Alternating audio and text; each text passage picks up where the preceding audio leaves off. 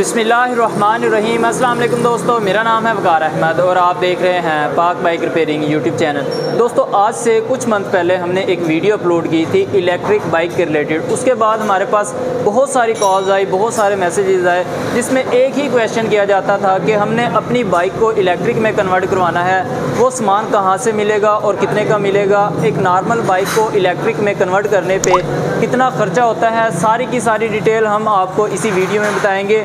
सबसे पहले हमारे पास कुछ पार्ट्स आ चुके हैं। हमारा एक ये न्यू प्रोजेक्ट है, जिसमें हम एक नॉर्मल बाइक को इलेक्ट्रिक में कन्वर्ट करेंगे। तो आपको दिखाते हैं वो कौन कौन से ऐसे पार्ट्स हैं जिनकी हमें ज़रूरत पेश आएगी एक नॉर्मल बाइक को इलेक्ट्रिक में कन्वर्ट करने पर। दोस्तों, ये है बैटरी लिथियम की बैटरी है ये, ठीक है, जो हमने ख़ुद तैयार करवाई है। ये 20 अम्पेयर और 60 वोल्ट की बैटरी है। ये बैटरी हमने फ़िट करनी है और फिट करने के बाद आपको इसकी माइलेज भी बताएँगे कि जो नॉर्मल बाइक हमने इलेक्ट्रिक में कन्वर्ट करनी है 20 अम्पेयर की बैटरी से हमें कितने किलोमीटर का सफ़र तय करने को मिलता है। इसकी जो प्राइस है, वो भी हम आपको वीडियो के एंड में बताएँगे, ठीक है? इसका जो वेट है, वो भी अच्छा खासा है, तकरीबन कोई छः सात के तो इसका वेट होगा इस वक्त। उसके बाद ये कुछ सामान हमने मंगवाया है। हमारे पास इलेक्ट्रिक बाइक के रिलेटेड फ़िलहाल कोई भी सामान अवेलेबल नहीं है। जो भी हमने पार्ट्स वगैरह मंगवाने हैं, वो हमने ऑर्डर पर ही मंगवाने हैं। आप भी ऑर्डर पर मंगवा सकते हैं, दराज से भी मंगवा सकते हैं, या फिर लाहौर में भी बहुत सारे दोस्त ये सामान सेल कर रहे हैं, ठीक है? ये है इसकी मोटर साढ़े बारह सौ वाट, अड़तालीस से साठ वोल्ट की बैटरी पे ये चलती है, ठीक है? इसके लिए हमें जो बैटरी चाहिए वो 48 से 60 वोल्ट की हो या फिर बहत्तर वोल्ट की भी चल जाएगी। लेकिन बेहतर यही है कि आप इसके लिए 60 वोल्ट की बैटरी यूज़ करें, हम भी 60 वोल्ट की बैटरी यूज़ कर रहे हैं। अब इसमें यहाँ पे आपको स्पोक्स के ऑप्शन दिए गए हैं। इस मोटर को आप अपनी बाइक के नॉर्मल रिम के अंदर भी फिट कर सकते हैं। इसके लिए जो स्पोक्स हैं, वो स्पेशल हैं। वो देखते हैं, इसी बॉक्स के अंदर से हमें वो भी मिल जाएँगे।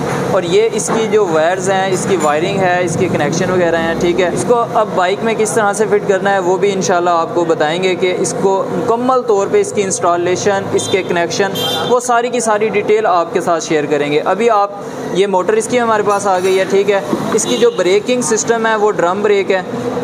इसको हम साइड पे रख देते हैं। उसके बाद ब्रेकिंग सिस्टम के लिए उन्होंने लेदर प्लेट और इसके जो लेदर्स हैं वो हमें साथ ही मिले हैं, जो हमने यहाँ पे फिट कर लेने हैं, ठीक है? उसके बाद कुछ और सामान भी हमें मिला है। इसके लिए स्पेशल मीटर है। इस मीटर में इसके वाट वोल्ट अम्पेयर सब चीज़ें बताएगी स्पीड भी बताएगी, हर एक चीज़ बताएगी। ये इसका स्पेशल मीटर है, जो हमें इस किट के साथ ही मिलता है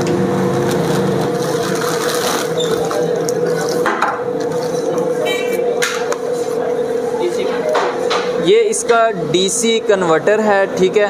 ये भी किट के साथ ही मिलता है, ये डीसी कन्वर्टर इसका हो गया। उसके बाद ये है इसकी वायरिंग, मुकम्मल वायरिंग भी आपको इस किट के साथ ही मिलती है। और ये इसका थ्रोटल है, इलेक्ट्रिक थ्रोटल है। बाकी इंडिकेटर्स वगैरह के हेडलाइट ऑन, ऑफ़ के सारे ऑप्शंस आपको इसी थ्रोटल के अंदर, इसी ग्रिप के अंदर मिल जाएँगे। उसके बाद ये दूसरी साइड की इसकी ग्रिप है जिसमें आपको हारन का button indicators headlight high beam low beam वो सारा कुछ भी मिल जाता है। और साथ में ये है इसका कंट्रोलर लिथियम बैटरीज़ के लिए ये कंट्रोलर है। इसके साथ काफ़ी सारी वायर्स अटैच हैं। इसकी वायरिंग के बारे में भी आपको बताएँगे कि इसकी वायरिंग हमने किस तरह से करनी है उसके बाद एक अदद ब्रेकर हमें मिला है इसके साथ। ये बहुत ही ज़रूरी चीज़ है। जब भी हमने अपनी बाइक को इलेक्ट्रिक में कन्वर्ट करना है तो ब्रेकर हमें ज़रूर लगाना है।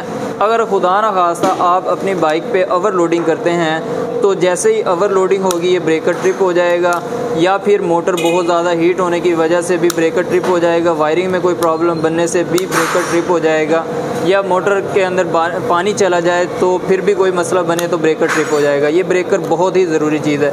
ये ब्रेकर ट्रिप हो गया तो बैटरी का कनेक्शन डिसकनेक्ट हो जाएगा, आपकी मोटर जो है वो डैमेज नहीं होगी। उसके बाद ये हमें एक कनेक्शन के लिए मिल जाती है डब्बी। यहाँ पे हमने सारे कनेक्शन करने हैं जो बिल्कुल सेफ़ रहेंगे, हमें टेपिंग वगैरह की ज़रूरत नहीं पेश आएगी और ये ज़रूरी चीज़ है, बहुत ही ज़रूरी चीज़ है। उसके बाद ये इसकी सॉकेट है जिसमें हमने ये प्लग है इसका। ये चार्जिंग के लिए चार्जिंग पोर्ट के लिए है। यहाँ पे हमने इसका प्लग लगा देना है चार्जिंग वाला, ठीक है? से एंड में आप देख सकते हैं, बिल्कुल छोटी छोटी स्पोक्स हैं इसकी।